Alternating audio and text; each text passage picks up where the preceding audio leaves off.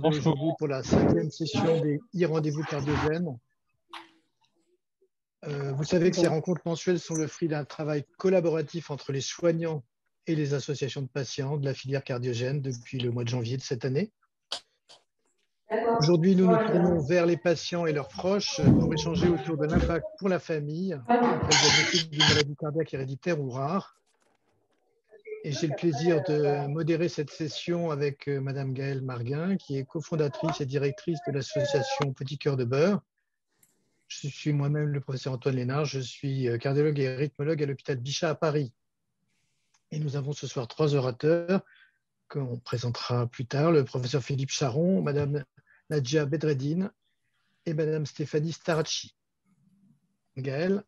Bonjour à tous, donc je suis Gaëlle Marguin de l'association Petit Quart de Bar et j'ai le plaisir de modérer euh, avec le professeur Lénard ce soir euh, cette session. Euh, petite précision technique, tous les micros sont volontairement coupés afin de faciliter l'audition des, orateurs. je vous invite à poser toutes vos questions dans le chat. Nous poserons une question après chaque intervention et nous sélectionnerons euh, dans le chat euh, des questions à l'issue des trois interventions et on essaiera de répondre à, beaucoup de questions. en tout cas, on s'y tiendra. voilà, donc n'hésitez pas. Et puis, dernière chose aussi, sachez que cette session est enregistrée en vidéo et elle sera disponible en replay sur le site internet de Cardiogène. Merci Gaël. On va commencer tout de suite euh, avec le professeur Philippe Charon, qui est cardiologue et généticien à l'hôpital de la Pitié-Salpêtrière à Paris. À toi Philippe. Oui, bonjour à tous. Alors, je suis en train de retrouver mon topo pour le partager avec vous. bizarrement, je ne le vois plus, mais on va le retrouver.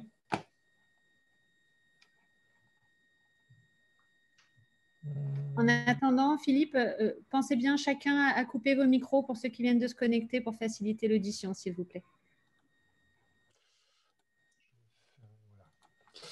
Ça va arriver, ça devrait arriver. Vous me dites, vous le voyez. Très bien. Bah, écoutez, bonjour à toutes et tous. Euh, je vais vous parler du point de vue du, médecin. moi, je suis cardio-généticien à la Pitié-Salpêtrière essentiellement. Et euh, donc, on va tout de suite essayer de poser un petit quelque, un cadre général pour euh, euh, pouvoir lancer la discussion après. Donc, dans quelle situation on est? On est dans la situation où le diagnostic d'une maladie cardiaque probablement héréditaire a été fait chez le premier patient, qu'on appelle souvent le, cas index. Et cette probabilité de maladie héréditaire est déjà posée avant même d'avoir euh, le résultat du, test génétique bien souvent, de par la, maladie cardiaque en question. Et donc, on est ici dans la deuxième phase, c'est-à-dire où on s'intéresse à la prise en charge de la famille, du reste de la famille des apparentés, ce qui nous conduit à évoquer euh, pourquoi faire ce dépistage, quelles informations donner, quels examens organiser sur le plan génétique, sur le plan cardiologique, qui informer, comment. Donc, on va euh, succinctement aborder ces sujets-là. Alors, pourquoi faire le dépistage? Euh, Eh bien, la réponse elle est relativement simple dans le cas des maladies cardiaques euh, héréditaires, parce qu'on a euh, bien souvent pour toutes ces maladies un traitement à proposer. Et donc, plus on fait le diagnostic tôt, mieux on pourra prendre en charge les apparentés à un stade précoce et commencer au moment optimal, en général au moment où l'expression cardiaque débute, commencer la prise en charge thérapeutique. Donc ça, c'est le message très général qui, justifie euh, toute la démarche. Et euh, il y a globalement trois infos à, donner euh, qui me semblent importantes à la famille. Donc en général, c'est le médecin qui voit le premier patient qui, donne cette information qui est ensuite relayée, qui sera réexpliquée plusieurs fois. D'abord, c'est de dire que ces maladies sont héréditaires alors là, on parle des, de, des cardiomyopathies, de ce qu'on appelle les canalopathies, un moindre degré, quelques formes très particulières de cardiopathie congénitale. Et donc, on sait qu'il y a un risque de transmission qui obéit aux lois de, de Mendel. Et le plus souvent, on a ce qu'on appelle une forme autosomique dominante comme mode de transmission. Et donc, le plus souvent, c'est un risque de 50% de transmettre à un apparenté dit du premier degré, du premier cercle, la fratrie, les enfants, euh, qu'ils soient garçons ou filles. On verra qu'il peut y avoir d'autres types de transmission avec les interventions ultérieures, je pense. Deuxième, deuxième message, c'est de dire que l'histoire de la maladie est particulière dans le sens où euh, il y a une expression cardiaque qui est, pour beaucoup de ces pathologies, qui est retardée. L'expression cardiaque est retardée, c'est-à-dire qu'il y a plusieurs phases dans l'évolution de la maladie. On peut résumer euh, succinctement en disant qu'il y a trois phases. Une première où, pendant quelques années, où euh, on a la parenté à hériter de la mutation quand on est dans ce cas de figure d'hériter la mutation, mais pendant ce premier stade, il n'y a pas encore d'expression cardiaque, pas de symptômes, et puis, à partir d'une deuxième étape, dont l'âge est variable, on pourra dépister la maladie sur le plan cardiaque, parce qu'elle sera déclarée à ce moment-là, sur l'électrocardiogramme par exemple, sur l'échographie. Et souvent, pendant quelques temps, il n'y a pas encore de symptômes, et c'est euh, lors d'une troisième étape qu'on va avoir la survenue des symptômes, euh, les, palpitations, les malaises, euh, l'essoufflement par exemple, ou parfois même les complications. Troisième message, c'est qu'il y a une grande variabilité de la chronologie de cette évolution de la maladie d'une personne à l'autre dans une famille, avec ce stade 2 qui est le, fait que la maladie se déclare sur le plan cardiologique, qui peut être parfois précoce, parfois vraiment tardive, et qui varie d'une personne à l'autre dans, une même famille. On peut avoir quelqu'un qui déclare la maladie à, 15 ans, quelqu'un d'autre à, à 40 ans pour beaucoup de ces pathologies, et donc, euh, il faut avoir ça en tête et le fait aussi que la gravité peut varier d'une personne à l'autre dans la famille, euh, la rapidité d'évolution de, la maladie. Euh, et parfois même, on peut avoir des situations un peu extrêmes comme sur, cette, sur cet arbre généalogique. On peut aussi avoir le cas de figure d'un apparenté qui porte la mutation mais qui n'a pas déclaré ou qui ne déclarera parfois pas la maladie. Là, vous avez le cas de de deux frères qui ont déclaré une cardiomyopathie ventriculaire droite avec une mutation identifiée, une mutation qui est héritée de la mère, qui, elle, a un bilan cardiaque normal, qui n'a pas euh, déclaré euh, la maladie. Donc, ça peut arriver de temps en temps en fonction des pathologies. La, probabilité est plus ou moins euh, importante.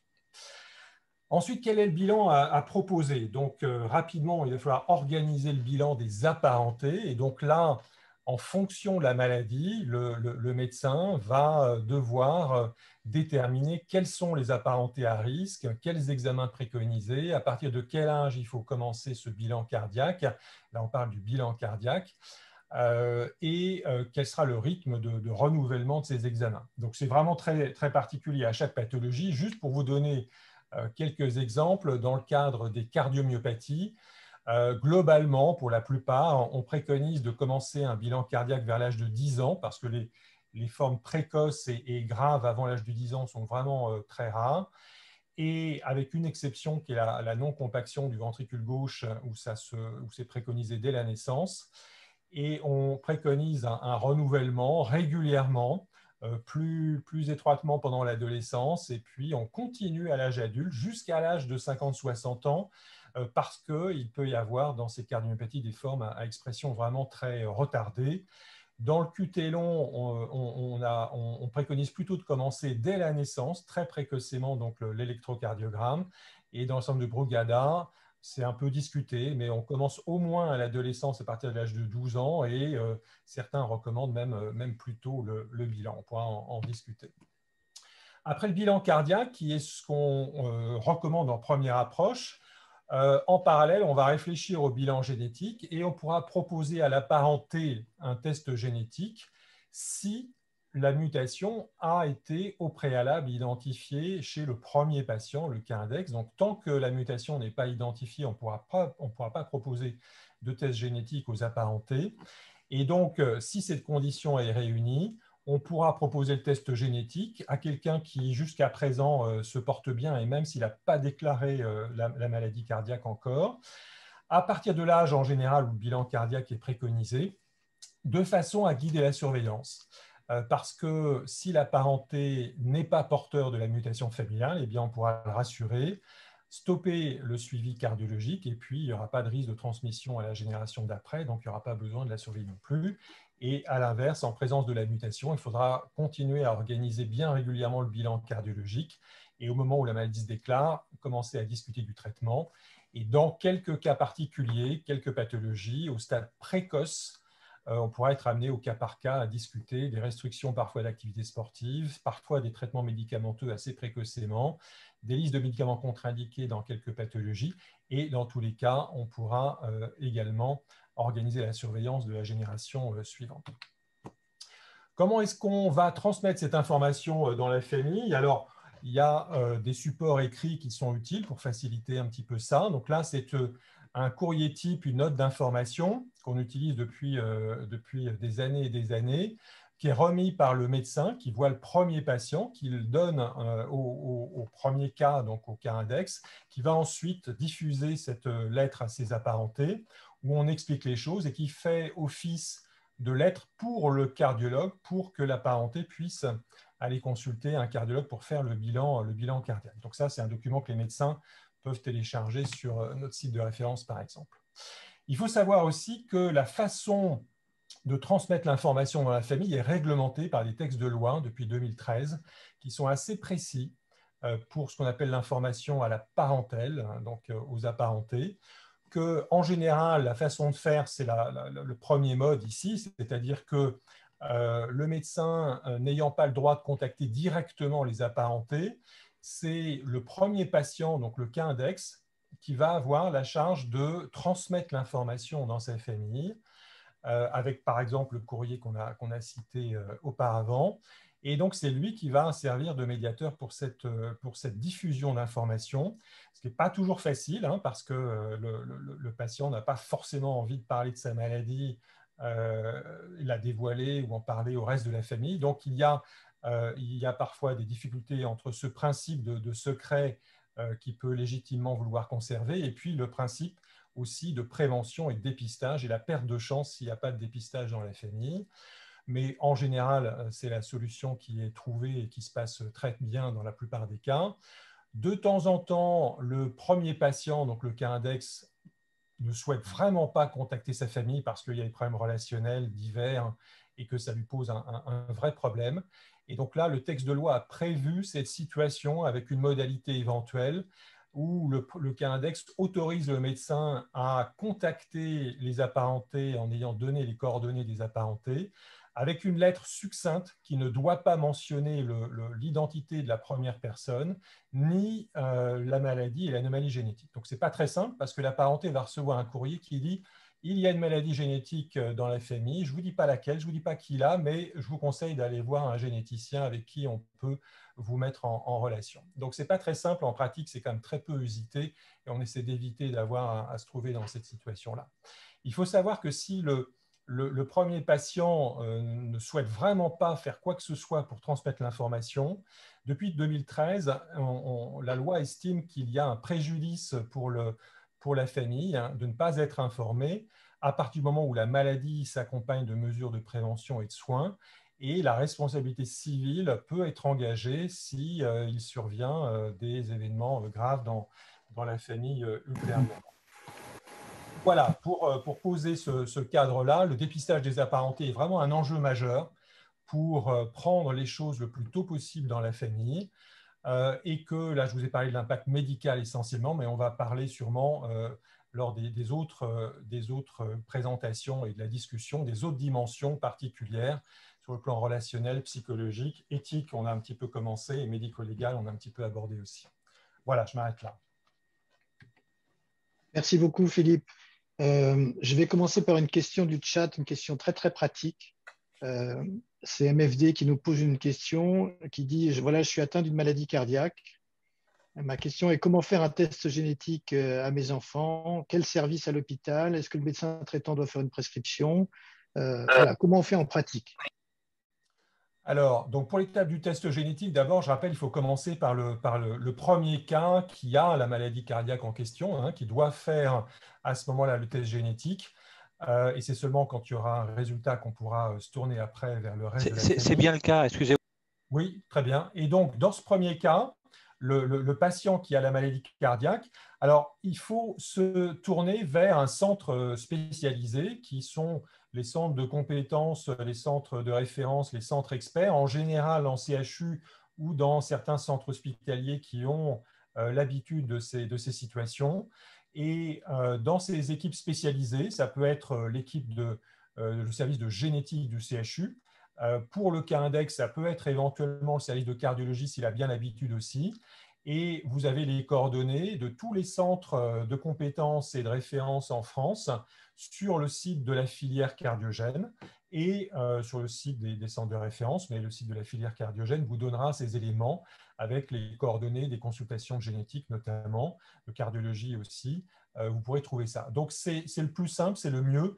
Et euh, la loi préconise que le test génétique doit être réalisé, c'est très bien comme ça, par, par un, un, médecin qui a la compétence pour prescrire et après pour expliquer les résultats.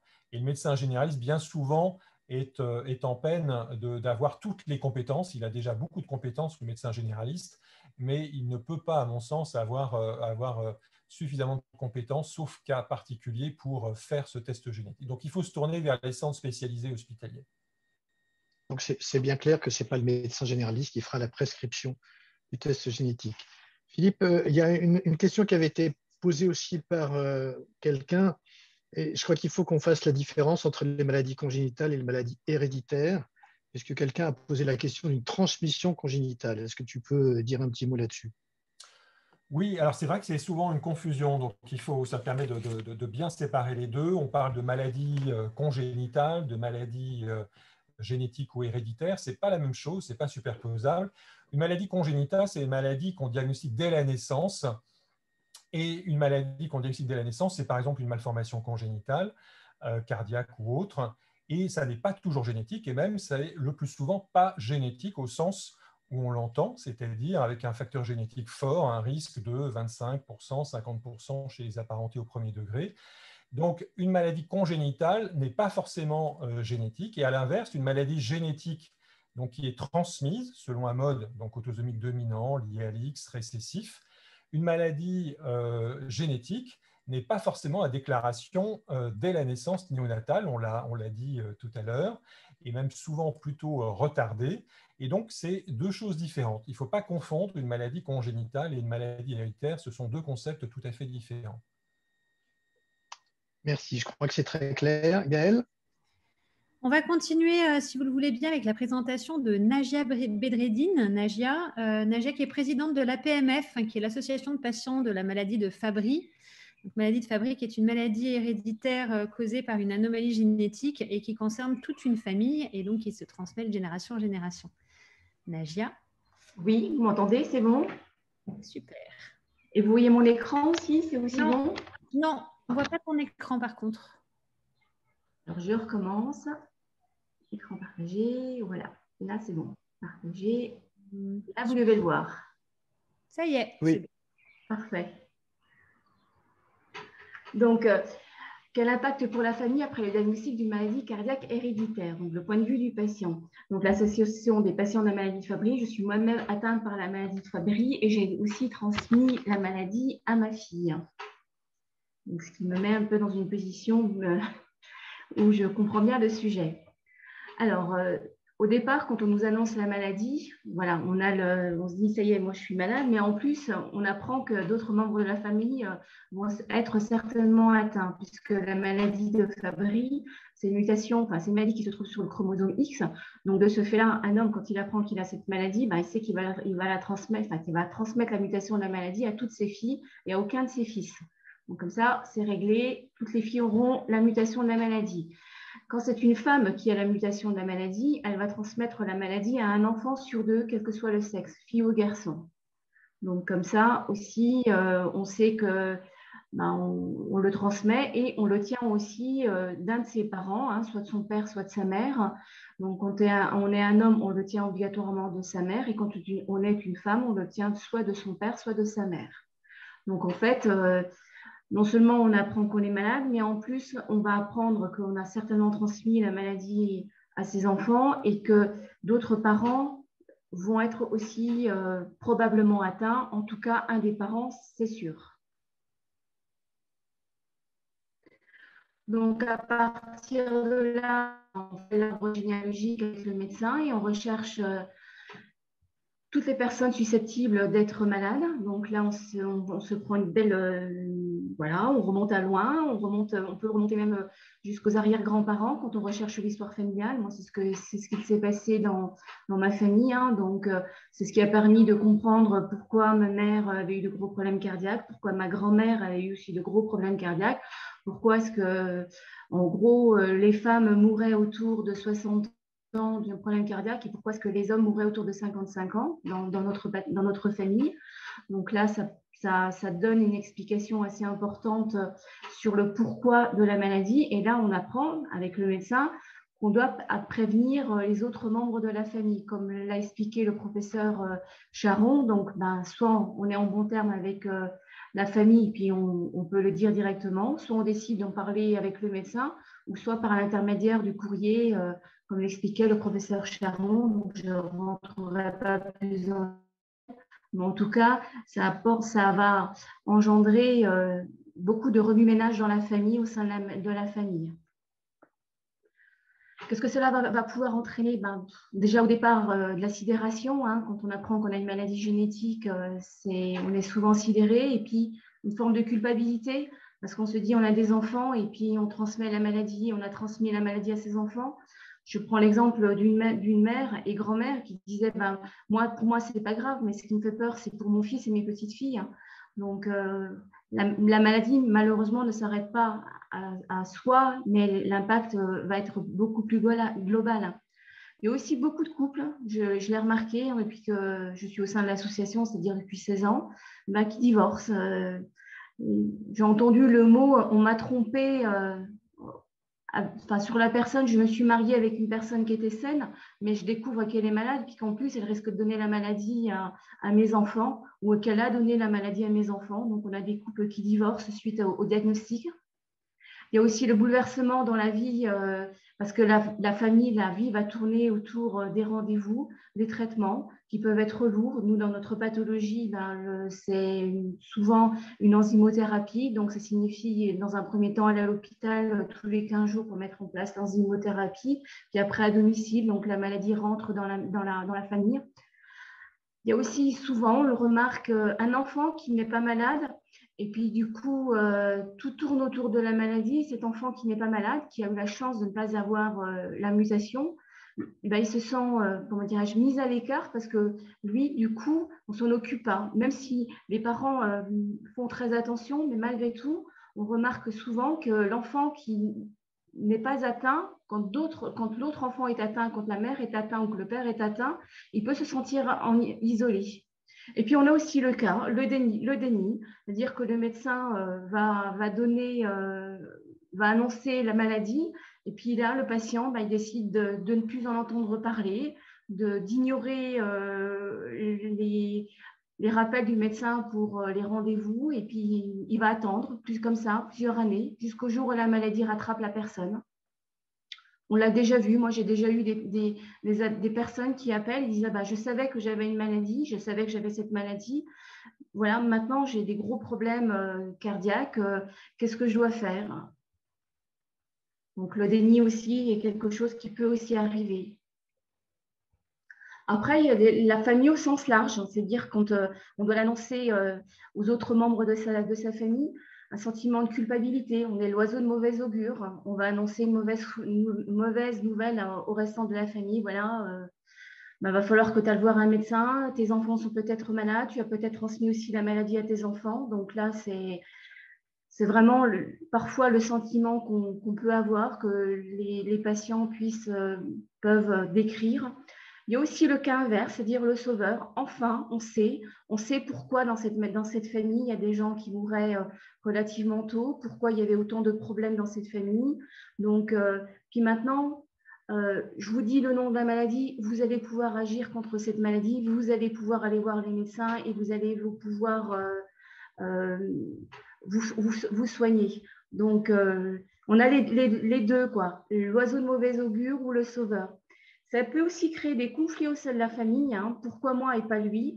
Donc, euh, un frère, une sœur, euh, on l'a déjà vu au sein de, l'association, des patients qui disent, eh ben, dans la famille, quand euh, avec, avec ma sœur, ça a pété parce que bah, parce qu'elle m'a dit, ah ben, moi, je suis contente de ne pas l'avoir.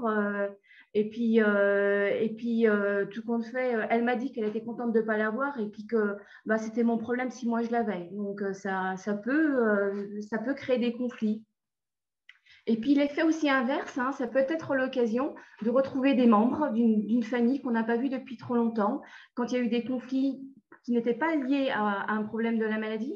Et puis le fait de, dire, ben, on se retrouve, on a vu, euh, moi j'ai vu à une rencontre un, un frère et une sœur qui étaient euh, fâchés depuis de longues années pour des raisons d'héritage ou je ne sais pas quoi, et qui se sont retrouvés au bout de dix ans autour de la maladie. Ça a été vraiment le, le, lien qui a, qui, ça a permis de recréer le lien entre le frère et la sœur. Et puis aussi le déni. Donc, euh, on va appeler un cousin, une cousine pour lui dire qu'il y a une maladie de Fabry. On sait très bien que ce cousin, cette cousine ont aussi des problèmes puisqu'ils ont, ils ont quand ils en parlaient, il y avait des symptômes, mais ils préfèrent ne pas, ne pas en parler. Et puis, euh, quelques années après, c'est pareil, la maladie rattrape. Euh, je me souviens d'un monsieur qui m'a appelé, euh, il m'a dit, voilà, je vous appelle parce que j'essaye d'obtenir, je voudrais savoir vers qui me tourner. Mon frère m'avait dit, il y a plus de 15 ans, qu'il bah, y avait la maladie de Fabry dans la famille. Mais euh, moi, je ne voulais, pas, voulais pas savoir, donc euh, j'ai rien fait. Maintenant, euh, mon médecin généraliste m'a dit que j'avais de gros, gros problèmes cardiaques, qu'il fallait absolument que j'aille voir un spécialiste de ma pathologie. Donc voilà, le déni, il, savait, mais il ne voulait, pas, le, pas savoir pour lui, même s'il avait des symptômes. Puis après, ben, on peut se dire, comme me disent souvent les jeunes adultes, comment rencontrer un partenaire alors qu'on en est malade? Déjà dans la vie actuellement, c'est pas facile de trouver quelqu'un euh, pour, euh, pour créer une famille. Mais alors en plus, on arrive avec un bagage en disant ben voilà, j'ai une maladie euh, génétique, j'ai une maladie héréditaire. donc c'est c'est une problématique, c'est quelque chose de lourd à porter. Et puis après, ben, vient aussi la question avoir des enfants en sachant qu'ils risquent d'être malades. Quel choix Donc on a toutes les possibilités. On a un adhérent, un homme qui dit bah, Moi, je n'aurai pas d'enfant. D'autres qui disent peut-être adopter. Ou alors euh, avoir recours au DPI, hein, au diagnostic préimplantatoire, avoir recours au, DPN, au diagnostic prénatal, ou ne rien faire et prendre le risque d'avoir un enfant malade. Je pense que là-dessus, il n'y a pas, de, bon choix. Il me semble que c'est en fonction des personnes et en fonction de, des convictions de chacun. Il n'y a pas de, comment dirais-je, il n'y a pas de, à donner mais c'est un choix qui est propre à la personne et au couple. Le retour. Et euh, pour moi, quel que soit l'impact dans la famille, vraiment en tant que patient et de tout ce que j'ai pu voir en tant que président de l'association, il est important de savoir, parce que quand on sait, on peut agir. Surtout qu'aujourd'hui, avec euh, les progrès de la médecine, la prise en charge, elle permet vraiment de changer le, pronostic vital. Et c'est important de savoir, parce que tant qu'on ne sait pas, on ne sait pas contre quoi on se bat. Et il peut y avoir des drames au sein de familles parce que c'était euh, une maladie qui était connue et ça n'a pas été dit. Avant 2013, euh, il y a des familles dans lesquelles il y a eu des suicides, il y a eu des personnes qui se sont, voilà, qui sont, il y a eu des drames familiaux parce que il y avait une branche de la famille qui savait qu'il y avait cette maladie héréditaire et qui ne l'a pas dit à l'autre branche de la famille et ça a vraiment créé des, drames au sein des familles. Je pense que cette loi qui oblige à, vraiment informer tous les membres de la famille est, nécessaire parce qu'il pour agir, il faut savoir. Et tant qu'on ne sait pas qu'il y a une maladie, on ne peut pas agir. D'autant plus qu'il y a des traitements et que les traitements sont efficaces et c'est important d'être suivi et d'être euh, traité. Et pour, euh, je terminerai euh, en, disant, je dis toujours cette, cette, phrase, pour ne pas rester seul face à la maladie, venez rejoindre les associations. C'est important de ne pas rester isolé, d'échanger avec d'autres malades et de voir que la prise en charge, elle est quand même relativement formidable. Et pour, vous, pour terminer, un grand merci à la filière cardogienne pour son invitation et son remarquable travail pour tous les malades. Merci beaucoup. Merci beaucoup Nagia pour euh, ce retour d'expérience très concret. Euh, on a beaucoup de patients aujourd'hui connectés, de familles de patients, donc merci beaucoup pour euh, ces beaux témoignages. on a quelques questions qui ont été posées notamment auparavant en s'inscrivant, et notamment une question sur le couple. Tu l'as abordé, Nagia, se poser la question de comment réinventer le couple après le diagnostic et le traitement lors de la découverte de la maladie cardiaque génétique avec notamment la disparition de la libido. Euh, quelles associations ou quels professionnels peuvent t'aider dans ce cas-là? C'est une question très large, tu n'as pas la solution Non, je n'ai pas la solution.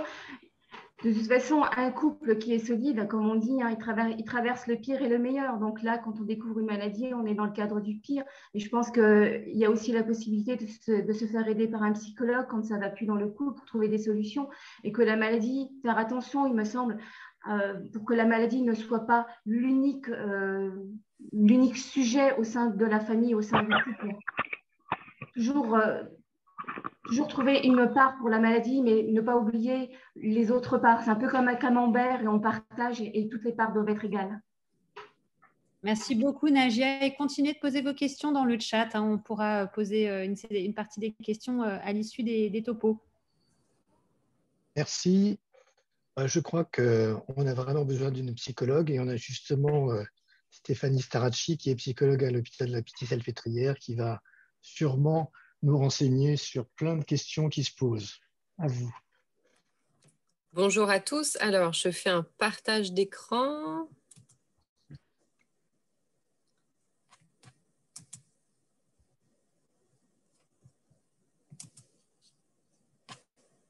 Alors, est-ce que...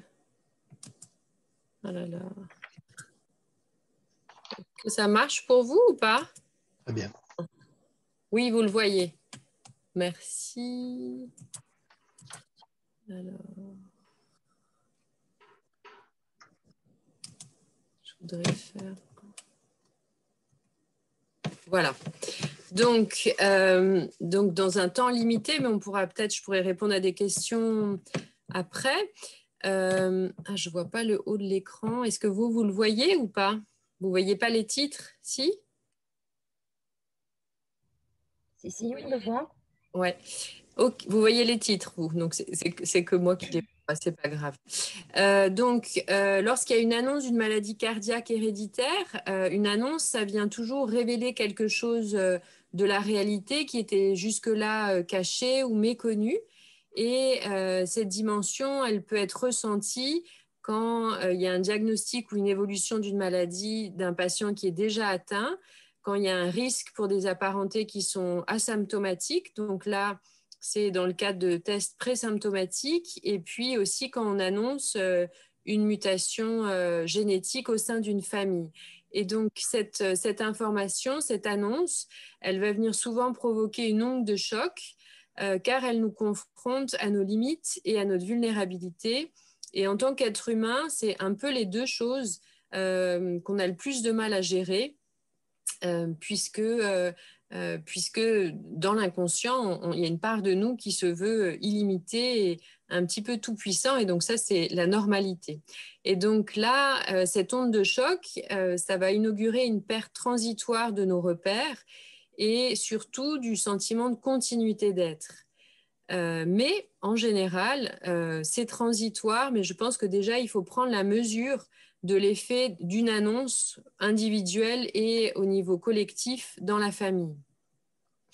Et euh, à la suite de cette annonce, habituellement, l'être humain, il déclenche en lui un système d'alarme euh, qui, fait, qui fait partie de, notre conditionnement protecteur avec la mise en route de tout un cortège de mécanismes de défense, donc comme on a déjà abordé avant, euh, sur la sidération, le déni, l'angoisse, l'agressivité, et puis des fois des sentiments de tristesse et, euh, et majoritairement, moi je dirais, de l'angoisse. Et donc, ça va être tout un temps où le sujet a besoin de reconstruire euh, une sorte de pulse intérieure pour qu'il puisse retrouver un sentiment de continuité et puis apprendre à, naviguer avec cette nouvelle réalité euh, en l'intégrant à sa vie. Et donc, ça pousse tout à chacun à mobiliser de la créativité et à découvrir parfois des ressources insoupçonnées, des ressources individuelles, mais aussi collectives euh, au sens plus large. Donc, une maladie héréditaire, euh, c'est vraiment important de penser qu'on a tous une famille euh, et en même temps, on est chacun unique et différent. Et très souvent, quand un patient apprend que dans sa famille ou lui-même est, porteur d'une maladie cardiaque héréditaire, eh ben, on fait un espèce de switch en avant et switch en arrière où on se pose mille et une questions de est-ce que je vais avoir la même vie que mon père puisque j'ai la même mutation? Est-ce que j'ai le droit de bénéficier d'une transplantation cardiaque alors que ça n'a pas été possible pour mon frère? Euh, Dans la famille, on vit pas très vieux. Euh, est-ce que je peux réaliser mon désir d'enfant sans prendre un risque pour mon enfant ou sans prendre un risque pour moi-même si je suis atteinte d'une pathologie cardiaque? Et euh, ce diagnostic, il peut venir diviser et réunir à la fois diviser et réunir à la fois la personne elle-même, puisque ça crée euh, une dynamique conflictuelle et, un, brassage au niveau des pensées des fois très intense, et aussi diviser et réunir au sein de la famille, puisque chacun réagit avec sa propre nuance et en fonction de ce qu'il est. tout le monde ne réagit pas pareil, donc il y a des clans euh, dans une famille qui vont faire le test, d'autres qui veulent pas du tout. il, y a, une dimension euh, de, réunion et division qui peut être très forte. Et ça, ça fait aussi partie des pièges liés à l'annonce. C'est-à-dire que comme il y a de l'angoisse qui est mobilisée, eh ben, on va actionner des défenses et nos défenses, elles ont tendance à diviser les choses à l'intérieur de nous et au sein du groupe famille. Mais derrière tout ça, finalement, ça parle de notre besoin d'appartenance et de notre besoin aussi de liberté et d'individualité. Et j'ai marqué le et en gras parce que ces deux aspects, ils sont très importants en fait quand on, quand on reçoit des patients de, de se dire que oui, vous appartenez à une famille et en même temps, c'est tout à fait légitime d'avoir euh, besoin de penser que euh, notre vie, elle n'est pas déjà toute écrite comme l'arrière-grand-père. Donc, quelques différenciations clés par lesquelles on peut passer en tant que sujet. Euh, quand on annonce quelque chose, euh, notre cerveau, il entend euh, t'es malade. Il n'entend pas t'es porteur ou t'es à risque ou il va y avoir une prise en charge médicale, mais il voit le pire. Et donc, du coup, c'est nos réflexes un peu archaïques. Et donc là, je vous ai mis quelques différenciations clés qui sont hyper importantes et sur lesquelles j'insiste toujours en consultation. Donc, cette différence entre être porteur et être malade, euh, la différence entre le champ de la prévention et celle du traitement, et euh, la question du diagnostic génétique et celle de la connaissance du futur. Euh, donc, ce n'est pas parce qu'on pose un diagnostic génétique et qu'on est porteur d'une mutation d'une maladie cardiaque héréditaire qu'on connaît le futur. Mais par contre, des fois, quand il y a un diagnostic génétique qui est posé, ça vient revisiter le passé et après coup, on comprend, comme disait euh, Madame Bedredine tout à l'heure, on peut comprendre pourquoi telle et telle personne est décédée subitement, de manière précoce, et ça nous fait aussi revisiter toute l'histoire euh, euh, quand il y a des diagnostics qui sont posés. Donc on voit que ça, ça pose des réaménagements profonds qui peuvent être médicaux, psychologiques, familiales, sociales et existentielles, et qu'il faut vraiment prendre la mesure de tout ça en se disant que on a besoin de temps pour porter et amener de la clarté sur ce qui se passe en nous quand on reçoit une telle nouvelle. Donc, éviter les pièges. Euh, il y a deux grands pièges euh, quand on est dans ce bain des maladies euh, cardiaques héréditaires.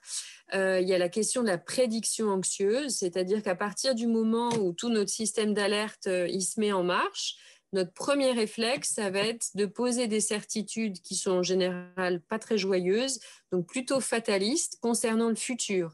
Et ce mécanisme et ce mouvement-là, c'est malgré tout un mouvement protecteur parce qu'on a tellement besoin de contrôle et on a tellement besoin de sécurité en tant que sujet. Et donc, il faut vraiment l'entendre comme une réaction à notre sentiment d'impuissance. C'est-à-dire que pour pas être dans ce sentiment d'impuissance, eh ben, je vais me raconter tout un tas de, scénarios et je vais me faire des films avec des certitudes pour essayer de reprendre le contrôle parce que ça m'échappe tellement de pas savoir ce qui va se passer et que ça fait peur, en fait, des fois d'avoir des annonces comme ça. Et puis le deuxième piège, c'est celui de la culpabilité. Alors il est très puissant quand on parle de transmission euh, la culpabilité est très souvent présente, mais il faut savoir que la, culpabilité, il y a une forme de retournement de notre sentiment d'impuissance, c'est-à-dire que pour pas euh, me dire que je ne peux rien faire, eh ben, malgré moi, je, vais retourner ça en me disant que j'ai été coupable ou responsable de quelque chose. Mais quand on écoute vraiment le sentiment de culpabilité, on voit derrière qu'il y a très souvent un besoin de protection à l'égard de ses enfants, à l'égard de sa famille au sens large, et que de se relier aux besoins de protection, bah, ça n'a pas la même couleur euh, à l'intérieur de nous que de se dire je suis écrasée de culpabilité parce que mon fils, ma petite fille, mon arrière-petit-fils, des fois, est porteur ou même malade d'une maladie euh, dont moi-même je suis porteuse et des fois asymptomatique sur les générations d'avant. Et donc, face aux manifestations d'angoisse et de peur, c'est vraiment hyper précieux et aidant de passer d'un mode à euh, je me sens coupable ou euh, je sais que de toute manière euh, je vais pas faire le tour du monde à 80 ans, et eh ben c'est vraiment hyper précieux de se relier à comment je me sens et surtout de quoi j'ai besoin. Et donc dans ces situations-là, bah oui, on a besoin de confiance, on a besoin de protection, on a besoin de sécurité, on a besoin de prendre soin de sa descendance et de sa famille. Alors, la question de la spécificité des enfants. Donc, pour tous les parents, il va y avoir une tension entre le besoin de protéger et donc, du coup, d'amener de la prévention médicale et un suivi et des fois des tests génétiques en fonction de l'âge. Et puis, le fait de ne pas nuire et de ne pas générer d'anxiété à son enfant. Et donc, cette tension, moi, je l'entends souvent en consultation, de se dire, bah voilà, comment je peux prendre soin tout en mettant pas en alerte euh, mon enfant. Et donc, c'est vraiment hyper précieux de se dire qu'un enfant, c'est une personne en développement et euh, qui a besoin d'être émotionnellement accompagné pour accéder à ce savoir génétique, à ce savoir médical. Euh, parce que nous aussi, on a besoin de continuité et de sécurité, mais eux peut-être encore plus, et qui vivent dans une intensité émotionnelle, les enfants, qui est bien plus forte que la nôtre en tant qu'adultes.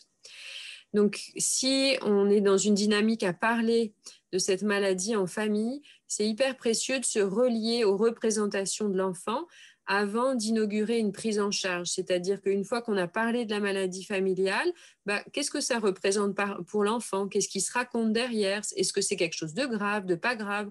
Est-ce qu'on peut vivre avec? Est-ce que ça peut changer des choses pour lui? Donc vraiment de se connecter à qu'est-ce que lui, il pense de ça. Et puis, euh, tous les enfants que je vois, moi en tout cas, ils ont besoin de clarté sur des choses très concrètes de qu'est-ce que ça va changer. Et donc, faire un test génétique, ce que ça change, c'est qu'on on va avoir accès à un savoir, mais ce que ça change concrètement, c'est qu'une fois par an ou tous les deux ans, on va aller voir un, cardio, euh, un cardiopédiatre. Ça, c'est quelque chose de concret. Euh, des fois, ça peut être des réaménagements au niveau du sport. Des fois, dans certaines familles, ça peut être de remanier complètement un projet professionnel que peut avoir l'enfant. Euh, donc, c'est vraiment précieux d'avoir de la clarté et d'accompagner l'enfant par rapport à ça. Moi, ce que je fais souvent, c'est d'essayer d'utiliser des métaphores pour essayer de différencier euh, porteur et malade en disant que porteur, c'est quelque chose qui est là, mais qui n'est pas actif, qui sommeille, et euh, que ça peut sommeiller plus ou moins très longtemps en fonction des situations. Et euh, dernière chose, c'est important de mobiliser et de faire adhérer l'enfant à ce processus parce que c'est lui en tant que personne et en tant que sujet en fait dont on parle. Et des fois, les parents ont la tentation de dire bah, j'aimerais bien faire tout ça sans qu'ils le sachent, sans qu'ils comprennent, sans qu'ils soient impliqués. Et donc ça, c'est pas possible. Et donc c'est hyper important de l'impliquer euh, parce qu'il s'agit aussi de sa vie, qu'il est une personne et, euh, que pas à pas, euh, on, le soutient à pouvoir lui répondre à ses questions et l'accompagner dans ce qu'il vit. Donc, quand consulter un psychologue, moi je dirais s'il y a des manifestations anxieuses, donc là pour soi ou pour un proche dans la famille, et des fois il peut y avoir des troubles du sommeil, une auto-observation, Euh, voilà. Euh, s'il y a des difficultés à en parler en famille, et puis quand il y a un vécu douloureux de la maladie, donc en général, c'est quand il y a des paliers évolutifs de la maladie ou si c'est passé malheureusement des, des accidents graves. Donc, c'est des maladies qui sont à la fois une épreuve physique, mais également psychologique, et qu'il est vraiment important de tenir compte des deux dimensions, et puis de ne pas hésiter à trouver du soutien. Donc là, je vous ai mis le, le centre de, le centre de ressources psychologiques que vous devez bien connaître euh, maintenant avec mes collègues. Et donc, les messages à retenir, donc c'est vraiment de pouvoir penser que l'histoire passée des autres membres de la famille, c'est pas celle du patient dans le futur ou même dans le présent, euh, que le futur reste avant tout un inconnu porteur d'espoir, euh, qu'il y a des traitements aussi pour ces maladies et une prise en charge possible, et puis, c'est une invitation à vivre le présent de son histoire tout en accueillant l'impact de l'histoire passée. Et puis, avant tout, c'est de savoir qu'on peut être accompagné. Je vous remercie. Merci beaucoup, Stéphanie. Euh, je vais rebondir tout de suite sur des questions qui ont été posées, notamment dans le chat, parce que finalement, euh, il y a beaucoup de gens qui ne euh, vous rejoignent pas forcément sur la diapo. Quand est-ce qu'on a besoin du psychologue? Ils ont envie de dire on en a besoin tout de suite, en fait. Et ça vient très vite au moment de l'annonce. Et beaucoup, Caroline, Rodrigue disent Mais pourquoi est-ce qu'il n'y a pas tout de suite une prise en charge psychologique? Pourquoi est-ce qu'on ne propose pas ça tout de suite? Est-ce qu'il faut vraiment attendre qu'il y ait des troubles anxieux? Est-ce que, est que ça ne devrait pas être systématique? Alors, le tout, le tout de suite étant par rapport à un diagnostic d'une maladie ou par rapport à un. Au moment de l'annonce. Au moment de l'annonce. Au moment de l'annonce de la maladie, ouais. si, on pourrait tout de suite c'est possible. Hein. On n'est pas obligé d'attendre que ça aille très mal pour, euh, pour faire quelque chose, mais après, en termes de moyens. non, mais il y a l'idéal et puis le, le souhaitable. Ouais. Parce que Rodrigue nous dit notamment, euh, l'annonce n'est pas toujours faite par le médecin de référence, mais par un médecin entre guillemets. Alors, quand elle dit médecin entre guillemets, on comprend que ce n'est pas forcément un médecin très psychologue qui n'explique rien notamment aux enfants et du coup les parents se sentent démunis et bien seuls. Et pourquoi aucune aide n'est prévue à l'issue de cette annonce? Alors, dans les centres de référence, maintenant, il y a des psychologues de manière nationale. Ça, Philippe, je ne sais pas euh, ce qu'on pourrait dire, mais euh, c'est vrai que les psychologues sont une denrée quand même encore rare, malheureusement, dans beaucoup de, centres hospitaliers, ou en tout cas, ils sont surchargés par, euh, par euh, les, sollicitations nombreuses qu'il peut y avoir. Donc, c'est un facteur limitant potentiel. Je pense que ce qu'on ne fait peut-être pas assez lors de la consultation d'annonce, mais on essaie de le faire dans les, dans les centres experts, on va dire, c'est de dire au moment de l'annonce, de dire quelles sont les ressources possibles et de dire n'hésitez pas à contacter telle ou telle équipe, tel ou tel centre, en donnant la plaquette de la filière, par exemple, avec euh, les informations sur le centre de ressources, pour dire, bah voilà, euh, aujourd'hui, peut-être que vous ne ressentez pas de besoin, mais sachez que ça existe dans le futur, etc. Euh, l'imposer systématiquement lors de la consultation d'annonce, outre les problèmes logistiques potentiels dans les services, certains ne sont pas forcément prêts le jour J à entendre ça. Donc chacun a son propre rythme, je pense aussi, euh, dans, dans, dans, son, dans, sa démarche de ce point de vue-là. L'important, c'est qu'ils sachent qu'il y a des équipes qui peuvent les aider, soit localement dans le centre hospitalier, soit euh, le centre de ressources psychologiques, où je rappelle que ça peut être aussi des, des premiers contacts, entretiens par téléphone organisés avec les psychologues de la filière. Alors Stéphanie, on a aussi une question qui revient assez souvent, une question assez pratique. Euh, je vous la lis. Comment rassurer mes enfants qui ont 17 et 19 ans qui ont peur de savoir et qui du coup refusent de faire le test?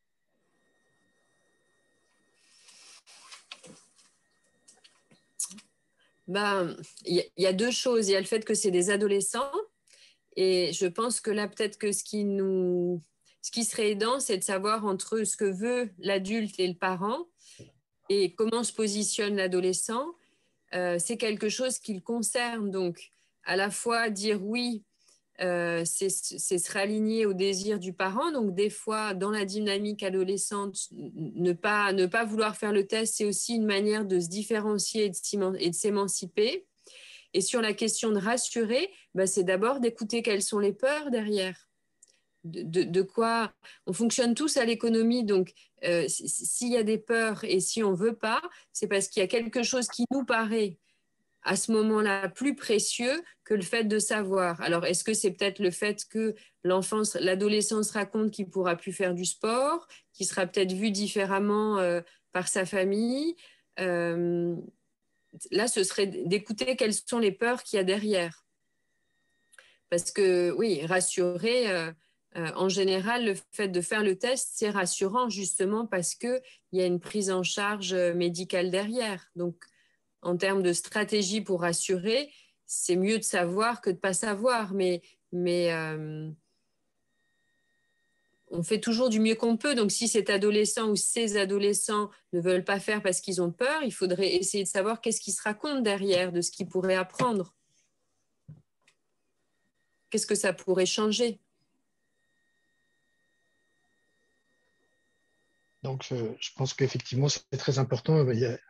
La question a été posée un peu de la même façon. Comment aborder le problème avec un enfant, en particulier dans un cas asymptomatique, mais avec une maladie à risque? Donc, euh, je pense qu'effectivement, vous avez répondu. Il faut, bah, par rapport il faut savoir ce qu'il y a derrière. Oui, et non, mais quand, comment aborder euh, de manière inaugurale euh, bah, C'est de dire que nous, dans la famille, on surveille le cœur, et comme cet enfant fait partie de la famille, euh, c'est de proposer qu'il y a des familles, on va avoir des lunettes et aller chez l'ophtalmo, d'autres le pied, d'autres je ne sais pas quoi. Mais c'est d'abord de dire parce que tu fais partie de la famille, dans notre famille, on porte une attention et une surveillance plus particulière au cœur. Et donc, du coup, eh ben, à cet âge-là, euh, on va t'emmener chez un cardiopédiatre ou tu vas avoir un médecin qui va écouter ton cœur. Les enfants, en général, quand on leur fait un, électrocardiogramme, ils trouvent ça plutôt intéressant et rigolo. C'est des examens qui sont pas douloureux. Euh, donc, faire partie de la famille, bah, c'est avoir cette surveillance cardiaque euh, avant de connaître son test génétique, si jamais derrière il y a des tests génétiques. En tout cas, moi, j'en parle souvent comme ça que chaque famille a ses particularités. Hein. On a abordé un peu le problème du couple tout à l'heure. Et il y a une question euh, importante qu'on ne pose jamais. Euh, comment trouver un conjoint avec un défibrillateur qui modifie la silhouette? Qu'est-ce que vous pourriez répondre? Comment trouver un conjoint? Un conjoint, lorsqu'on est porteur d'un défibrillateur, et je pense à une jeune femme qui porte un défibrillateur et euh, qui modifie évidemment la silhouette Comment ça va se passer?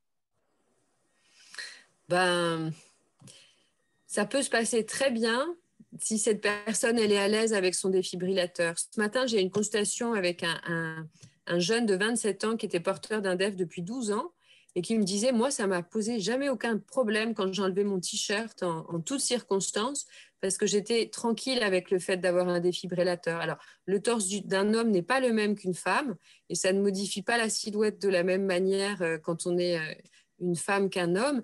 Euh, mais je pense que c'est d'abord de se dire comment, bah, comment déjà de soi à soi-même on accueille cet appareil et comment on vit avec.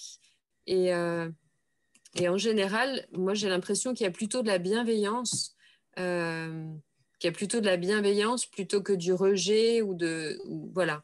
Mais c'est un travail d'intégration euh, singulier. Et par rapport aux relations de couple, où tout à l'heure il y avait cette question de la libido, il y, a deux choses. Il y a le fait que quand on nous annonce quelque chose et qu'on est terrifié, qu'on a peur, qu'on est angoissé et qu'on pense à la mort, c'est pas évident d'être à la fois dans une dynamique de vie et d'être pétrifié par la mort. Et donc du coup, ça demande euh, d'avoir peut-être quelques consultations pour euh, pouvoir retrouver du souffle et euh, reprendre cette, cette, continuité par rapport au sentiment d'existence. Et après, ça se relance. Et puis après, il y a l'autre problématique qui est les patients qui ont eux-mêmes des pathologies cardiaques, où là, ça peut aussi modifier l'énergie et l'activité au sens large et donc du coup poser des difficultés dans les relations de couple par rapport à la santé au sens large. Quoi.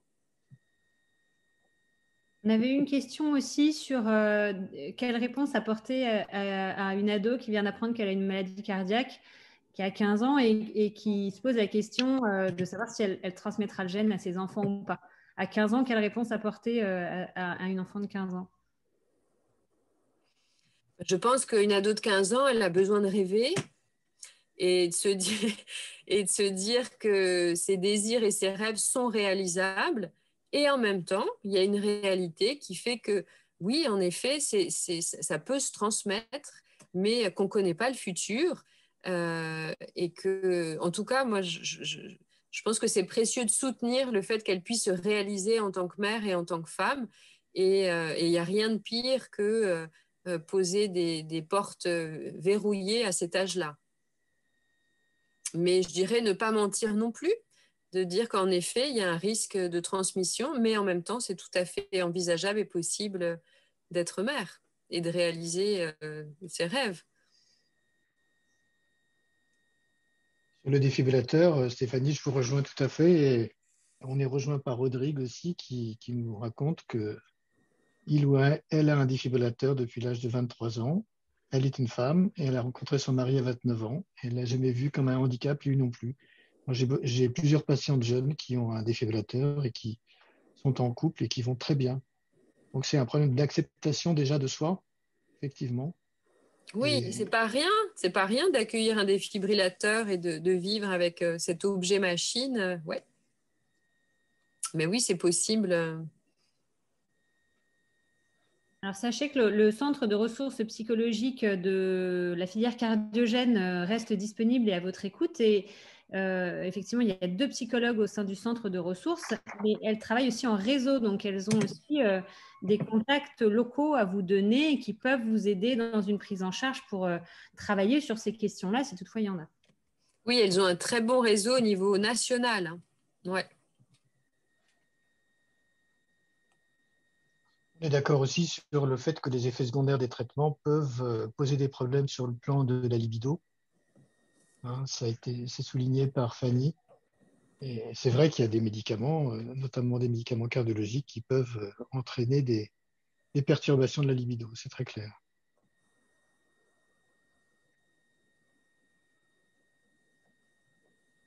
Il y avait une question aussi, euh, peut-être, euh, professeur Charon, sur le, sur le, syndrome de Brugada.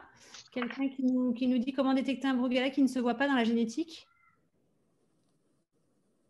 Alors, qui ne se voit pas dans la génétique, je ne suis pas sûr de bien comprendre la question, mais euh, le syndrome de Brugada, il se diagnostique de toute façon essentiellement sur les examens ECG, e électrocardiogramme essentiellement. donc, si dans la famille, pour des raisons diverses, il y a déjà un centre de Brugada qui a été diagnostiqué et qu'on veut aller plus loin euh, dans le diagnostic des apparentés, lorsque l'électrocardiogramme est rassurant et normal, c'est déjà un premier, une première information importante.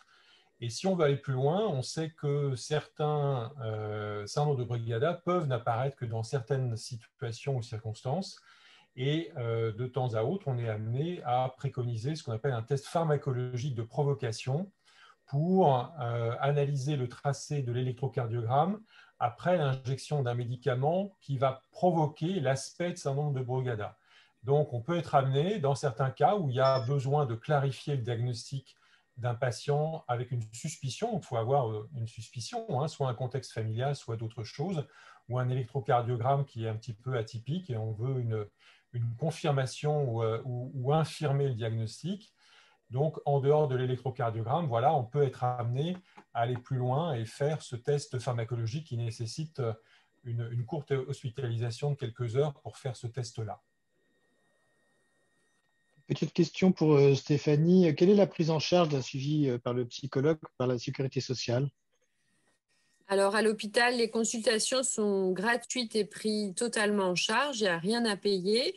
Et en libéral, maintenant, euh, les mutuelles remboursent quatre consultations euh, à hauteur de 60 euros. Et il y a des réaménagements en cours de discussion sur le remboursement euh, à 22 euros la consultation. À hauteur de 60 euros, j'ai pas très bien compris, c'est 60 euros pour 60 euros, 4 consultations, donc ça fait 240 euros qui est pris en charge par la Et la Sécu, pour le moment, ne rembourse pas, mais il y a des grandes discussions en ce moment. Ça, n'a rien à voir avec la LD, hein, on est bien d'accord? Non, ça n'a rien à voir. Ça ne change rien, ouais. Je crois qu'on pourrait continuer à, parler comme ça pendant des heures et des heures, hein, mais euh, l'heure tourne et on approche de la fin. Gaëlle, vous avez euh, un message à passer? Oui, euh, bah, on a enregistré les questions qui sont posées dans le chat. On ne peut pas répondre à toutes les questions parce que, évidemment, on pourrait rester encore longtemps ensemble.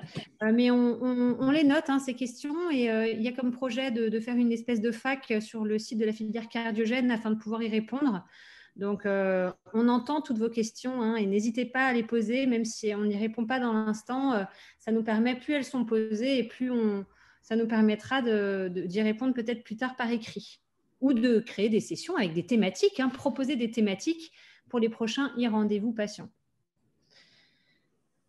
Bah, écoutez, je crois qu'on va faire, on va dire un très grand merci aux orateurs et à tous les participants qui ont été nombreux. Euh, un merci aussi à Lisa Lalouette pour l'organisation, parce qu'elle est extrêmement précieuse. On va se retrouver maintenant le jeudi 7 octobre. Il y aura trois mois de pause estivale pour aborder la question des assurances. Voilà, on vous souhaite de passer un très bon été et une bonne soirée à tous.